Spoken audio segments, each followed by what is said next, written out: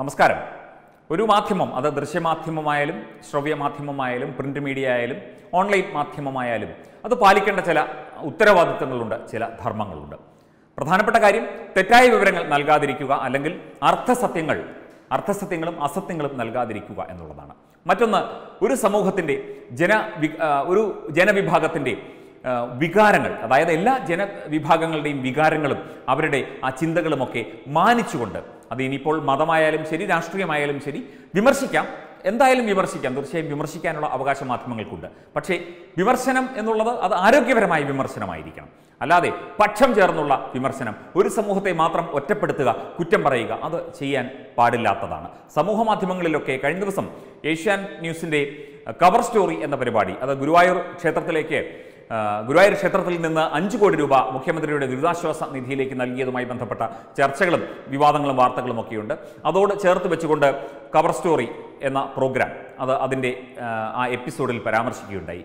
വളരെ വിചിത്രമായി തോന്നി. അതായത് ഇത്രയും ഏകപക്ഷീയമായിട്ട് രാഷ്ട്രീയ ഭേദഗതി രാഷ്ട്രീയ ചിന്തയും രാഷ്ട്രീയ ഭേദങ്ങളുമൊക്കെ ഉണ്ട്. എന്തിൽ എങ്കിലും ഹൈന്ദവ സമൂഹത്തിന്റെ ചിന്തകൾക്കും ഹൈന്ദവ സമൂഹത്തിന്റെ വിശ്വാസങ്ങൾക്കും ഇത്രയേ ഒരു മാധ്യമം വില കൽപ്പിക്കുന്നുള്ളൂ. അതും രാജീവ് ചന്ദ്രശേഖർ എം പി കർണാടകത്തിൽ നിന്നുള്ള B J P M P ചെയർമാനായ ചാനൽ അദ്ദേഹത്തിന്റെ ഉടമസ്ഥതയിലുള്ള ചാനൽ ഈ രീതിയിൽ പല പരിപാടികളും തട്ടിക്കൂട്ടി ഇതുപോലെയുള്ള സംപ്രേഷണങ്ങൾ ചെയ്യുന്നത് ഭക്തർക്കും വിശ്വാസികൾക്കും ഇടയിലൊക്കെ വലിയ മുറുമുറുപ്പാണ് ഉണ്ടാക്കുന്നത്. വലിയ വിമർശനമാണ് ഉയർത്തുന്നത്. ഭക്തരെല്ലാം സമൂഹ മാധ്യമങ്ങളിലൂടെയും അതുപോലെയുള്ള സംവിധാനങ്ങളിലൂടെയും ഒക്കെ ഭക്തരും വിശ്വാസികളുമൊക്കെ ഈ പരിപാടിക്കെതിരെയും B J P M P Rajeev ചന്ദ്രശേഖരന്റെ ഉടമസ്ഥതയിലുള്ള ഏഷ്യാനെറ്റ് ന്യൂസ് ഈ കാണിക്കുന്ന ഈ അഭിപ്രായ പ്രകടനങ്ങൾക്കെതിരെയും ഒക്കെ വ്യാപകമായ വിമർശനമാണ് ഉയരുന്നത്. ചിലപ്പോൾ വിമർശനങ്ങൾ നിങ്ങൾ ചെവിക്കൊള്ളുന്നില്ലായിരിക്കാം. പക്ഷേ ഒരു കാര്യം ഓർക്കുക. ജനങ്ങൾ കണ്ടെങ്കിൽ മാത്രമേ അല്ലെങ്കിൽ ജനങ്ങൾ സ്വീകരിച്ചെങ്കിൽ മാത്രമേ ഒരു മാധ്യമം ഒരു മാധ്യമമായി മാറുകയുള്ളൂ എന്നുള്ള കാര്യം ഒന്ന് പറഞ്ഞു എന്ന് മാത്രമേ ഉള്ളൂ. ഭക്തരുടെയും വിശ്വാസികളുടെയും ഒക്കെ മനസ്സ് വേദനിക്കുന്നുണ്ട് പലപ്പോഴും എന്നുള്ള കാര്യം ഓർമ്മപ്പെടുത്തുന്നു. ഈ കവർ സ്റ്റോറിയിൽ അതിന്റെ അവതാരക പറഞ്ഞത് ഗുരുവായൂരപ്പന്റെ അഞ്ചു കോടി മുഖ്യമന്ത്രിയുടെ ദുരിതാശ്വാസ നിധിയിലേക്ക് മാറ്റിയതിന് മുഖ്യമന്ത്രി വിശ്വാസികളോട് മറുപടി നൽകേണ്ടതില്ല എന്നാണ്. അതെന്താ? വിശ്വാസികളോട് മുഖ്യമന്ത്രിക്ക് കാര്യങ്ങൾ ഒന്ന് വിശദീകരിച്ചാൽ? മുഖ്യമന്ത്രി എന്നാൽ ജനങ്ങൾ തിരഞ്ഞെടുത്ത ഈ വിശ്വാസികൾ അടക്കമുള്ളവർ തിരഞ്ഞെടുത്ത കേരളത്തിന്റെ മുഖ്യമന്ത്രിയല്ലേ? അദ്ദേഹം ഒരു ഏകാധിപതിയൊന്നുമല്ലല്ലോ. എന്തുകൊണ്ടെന്നാൽ അഞ്ചു കോടി ദുരിതാശ്വാസ നിധിയിലേക്ക് മാറ്റിയതിൽ ഗുരുവായൂരപ്പന് തെല്ലും പരിഭവം ഉണ്ടാകില്ല. അതെന്താ? ഇവർ പോയി കവർ സ്റ്റോറി പോയി ഗുരുവായൂരപ്പന്റെ ബൈറ്റ് എടുത്തോ അല്ലെങ്കിൽ ഗുരുവായൂരപ്പനോട് കാര്യങ്ങൾ അന്വേഷിച്ചോ? പരിഭവമൊന്നും ഉണ്ടാകില്ല എന്ന് അദ്ദേഹം പറഞ്ഞു. മറിച്ച് സന്തോഷവുമാകും. അതെ സന്തോഷമാകും. ഗുരുവായൂരപ്പനോട് ചോദിച്ചു നോക്കിയാൽ അറിയാം. ഇപ്പോൾ ഗുരുവായൂരപ്പനോട് നമുക്ക് ഫോൺ വിളിച്ച് ചോദിക്കാനോ അല്ലെങ്കിൽ അദ്ദേഹത്തോട് ഒരു ബൈറ്റ് തരാനോ പറ്റാത്തത് ഇവർ പറയുന്നത് ഇങ്ങനെയാണ്. പക്ഷേ ചില കാര്യങ്ങൾക്ക് ഈ അവതാരക അല്ലെങ്കിൽ ഈ പരിപാടി ഉത്തരം പറയണം എന്ന് ചില വിശ്വാസികളും ഭക്തരുമൊക്കെ ആവശ്യപ്പെടുന്നുണ്ട്. ഈ ഭക്തരുടെ ആവശ്യം ന്യായമാണ് തീർച്ചയായും. ഹിന്ദുക്കളുടെ ദൈവങ്ങൾക്ക് മാത്രം മതേതരത്വ നിയമവും മുസ്ലിം ലീഗിന് അപ്ന അപ്ന വിശ്വാസ സംരക്ഷണവും ആണെങ്കിൽ അതും ഇത്തരം പരിപാടികൾ തുറന്നു പറയണമെന്നാണ് ജനങ്ങൾ ആവശ്യപ്പെടുന്നത്. എന്തേ ഹജ്ജ് ഹൗസ് ഒഴിവാക്കിയത്? അത് കഴിഞ്ഞ ദിവസം വാർത്തയായിരുന്നു. കോഴിക്കോട് വിമാനത്താവളത്തിൽ കരിപ്പൂർ വിമാനത്താവളത്തിൽ ഇറങ്ങി. കരിപ്പൂർ വിമാനത്താവളത്തിന് അധികം ദൂരമല്ല മുസ്ലിം ലീഗിന്റെ നേതൃത്വത്തിലുള്ള ഹജ്ജ് ഹൗസ്.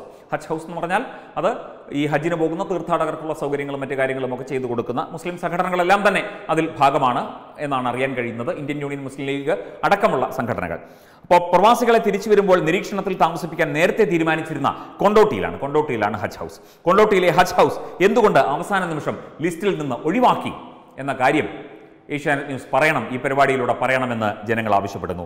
കരിപ്പൂർ വിമാനത്താവളത്തിന് സമീപം ഏറെ സൗകര്യങ്ങളുള്ള ഹജ്ജ് ഹൗസ് ഒഴിവാക്കാൻ മുസ്ലിം ലീഗും മറ്റ് മതസംഘടനകളും സർക്കാരിൽ സമ്മർദ്ദം ചെലുത്തിയതിന്റെ ഫലമായിട്ടാണ് ഈ നീക്കത്തിന് കാരണമാണെന്ന് പറയപ്പെടുന്നു. ലീഗിന്റെ ഈ വർഗീയവൽക്കരണ നീക്കത്തിന് പതിവ് പോലെ കോൺഗ്രസ് പിന്തുണയും നൽകി.